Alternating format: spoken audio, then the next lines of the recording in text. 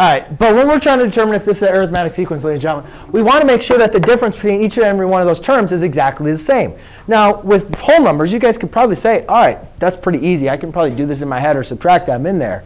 Um, but the main important thing is we want to make sure that, you know, when we're doing this, uh, especially even if we wanted to solve for um, our common difference, remember the difference is a2 minus a1 which is, has to be equal to a3 minus a2, which has to be equal to a4 minus a3. And we could keep on going from there. So basically what I'm trying to do to find my common difference, and if it has a common difference, therefore we know it's an arithmetic sequence.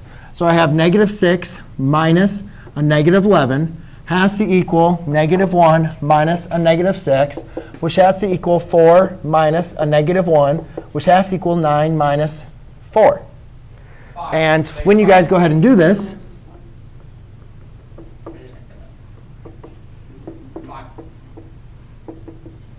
you guys see that, yes, 5 is the common difference for all of them. So my common difference is just 5.